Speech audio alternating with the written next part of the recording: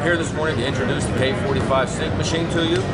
It's a machine that handles drains from three quarter inch through two and a half. It has cable sizes from quarter inch, 5 sixteenths, and 3 8 with uh, lengths of 25 foot, 35 foot, and 50 foot. Has low startup torque,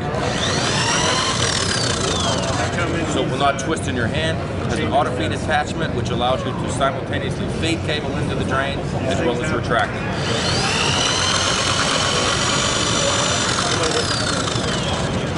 Very easy, very powerful machine.